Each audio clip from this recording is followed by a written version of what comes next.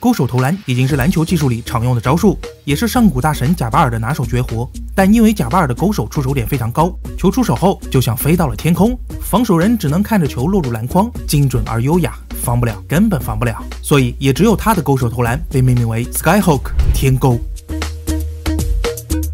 贾巴尔与张伯伦、比尔·拉塞尔、乔治·麦肯并称为上古四大神兽。一九四七年，他出生于纽约曼哈顿。他在高中时身高开始飞涨，可以轻松扣篮，带领高中校队打出可怕的七十一连胜，三次入选全美高中篮球阵容第一队，连续三年的校赛冠军让他也有了第一个外号“力量之塔”。他的伯乐约翰·伍登教练将他招入 UCLA，开始了大学篮球生涯。贾巴尔的第一个大学赛季就打出了二十九分、十五篮板的统治级表现，而 UCLA 更是杀红了眼，打出三十胜零败，直接横扫所有球队，拿到总冠军，实在是太过凶残。一九六七年和一九六九年被美国各大报纸和权威机构评为年度最佳球员，连续三年 NCAA 最佳中锋。他在中锋这个位置上拿到了所有能够拿到的个人荣誉。在约翰·伍登教练的率领下，整个大学生涯帮助球队取得了创纪录的八十八胜两负的战绩，三度蝉联 NCAA 总冠军。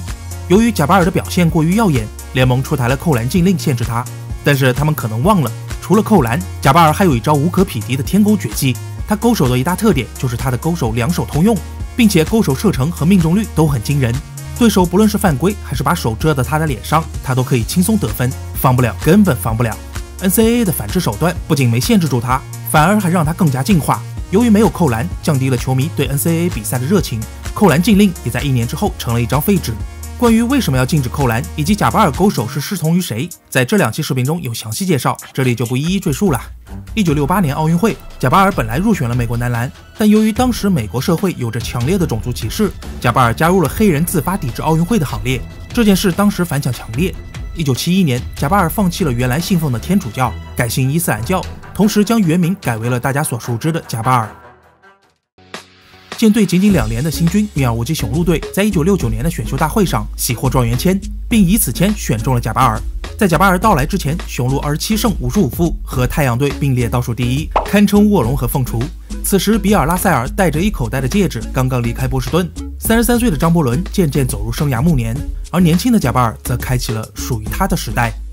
来到雄鹿的第一年，轻松打出五十六胜二十六负，一跃升至东部第二。你完全看不出这是第一年的新秀菜鸟。他个人场均二十八点八分、十四点五篮板，分别位列得分榜第二、篮板榜第三，毫无争议的拿走了当年的最佳新秀。对于绝大多数 NBA 球员来说，总冠军和 MVP 是他们一生为之奋斗的目标，而对于贾巴尔来说，这只是他传奇开始的前奏而已。一九七零年休赛期，雄鹿秀起了骚操作。他们通过交换得到了夺冠拼图上的最后一块筹码——辛辛那提皇家队，也就是现在的国王队的三十二岁超级后卫大欧奥斯卡罗伯特森。雄鹿一内一外的超级组合，让他们在接下来的七零到七一赛季打出了令人发指的六十六胜十六负，领跑全联盟，其中包括创纪录的二十连胜。贾巴尔凭借场均三十一点七分和十六个篮板的完美表现，获得了他的首个 MVP。西决是贾巴尔和张伯伦 NBA 生涯里第一次在季后赛里交锋，结果贾巴尔的雄鹿四比一轻松淘汰张伯伦的湖人。那五场比赛，贾巴尔场均二十五分、十七点二篮板、四点二助攻；张伯伦场均二十二分、十八点八篮板、两助攻，个人表现不相伯仲，有来有回。季后赛雄鹿十二胜两负，总决赛四比零横扫巴尔的摩子弹队，这是 NBA 历史上第二次出现总决赛横扫，并且在建队第三年就获得 NBA 总冠军的奇迹。贾巴尔获得生涯第一座总冠军奖杯和总决赛 MVP。接下来的一个赛季更是打出了职业生涯代表作，场均三十四点八分、十六点六篮板，卫冕得分王和 MVP。但是常规赛战绩第一的湖人，在西决以四比二淘汰雄鹿，完成复仇。贾巴尔赢了数据，但输掉了比赛。七三到七四赛季，贾巴尔第三次荣膺 MVP，同时有四项重要的技术统计全部位列联盟前五。但即便如此优秀，也始终无法在接下来的赛季捧起总冠军奖杯。大欧尽显老态，赛季结束宣布退役。七四到七五赛季，贾巴尔受伤休息了七周才复出。复出时，他为了保护眼睛而戴起了护目镜，这反倒成为了他后来的招牌穿着。三十八胜四十四负，雄鹿一年又一年的失败，使得贾巴尔逐渐失去耐心。终于在一九七五年，他来到了洛杉矶湖人。来到湖人后，贾巴尔一如既往的努力。生涯的第八年，已经五个 MVP 到手，但湖人的战绩始终只在联盟中游徘徊。他只能等待，也许只能等到一位如当年大欧那样的超级后卫，他才有可能再捧总冠军。终于在一九七九年的选秀大会上，湖人从爵士手中得到状元签，签下了密歇根州立大学的控卫魔术师约翰逊。随着约翰逊的到来，湖人终于见到曙光，这意味着整整称霸联盟十年的湖人盛世正式拉开帷幕。魔术师到来的第一年，湖人六十胜，贾巴尔场均二十四点八分、十点八篮板，获得生涯第六座常规赛 MVP 奖杯。这一纪录至今遥不可及，暂无来者。从1975年到1986年的十一个赛季的861场常规赛中，加巴尔波澜不惊地得到了自己职业生涯中的2万零八百九十七分，场均24.3分。看似平平无奇，但他却保持了十一年。在湖人的最后三年，年过四十的贾巴尔得分才开始下滑，三个赛季分别是17.5、14.6和10.1分。强盛的湖人在此十年间八次进入 NBA 总决赛。其中五次获得总冠军，生涯六个总冠军让他加入了一手戴不完戒指的传奇行列。八八到八九赛季的总决赛，由于魔术师和斯科特的受伤，湖人无奈被活塞横扫。